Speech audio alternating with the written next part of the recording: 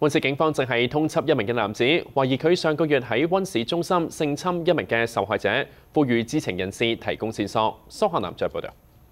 案發喺上個月十五號凌晨，一名男子喺溫市中心 Robson 夾 Granville 街，懷疑性侵一名受害者，之後坐車離開案發現場。溫市警方正喺度通緝嗰名男子，疑犯被描述為帶有深色皮膚、黑色短髮以及黑色胡须。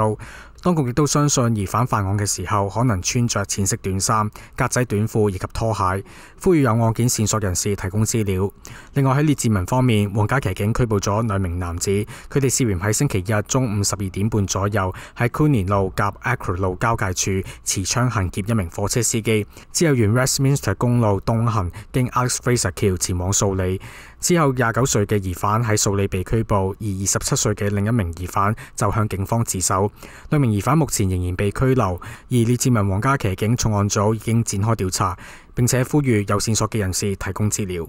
新时代电视苏汉南报道。